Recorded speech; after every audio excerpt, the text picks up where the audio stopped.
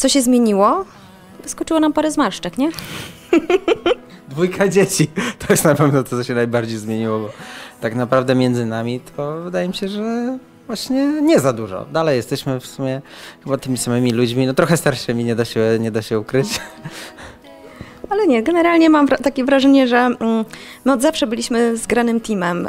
Y, Na parkiecie zaczynaliśmy, a teraz jakby kontynuujemy to w naszym życiu i em, jesteśmy przyjaciółmi i lubimy spędzać ze sobą czas, więc myślę, że to jest właśnie ten sukces. Zgadza się, no przez te 13 wspólnych lat y, było czasem bardziej pod górę, czasem troszkę, troszkę z góry. y. Wydaje mi się, że to jest istotne też, żeby razem przeżyć pewne trudniejsze momenty, tak? Także ja, tak jak już nieraz mówiłem, y, był taki moment, że musiałem się troszkę usunąć w cień, bo gdzieś czułem się taki jakby zjedzony, nie wiem, czy to jest dobre słowo, przez, przez show biznes.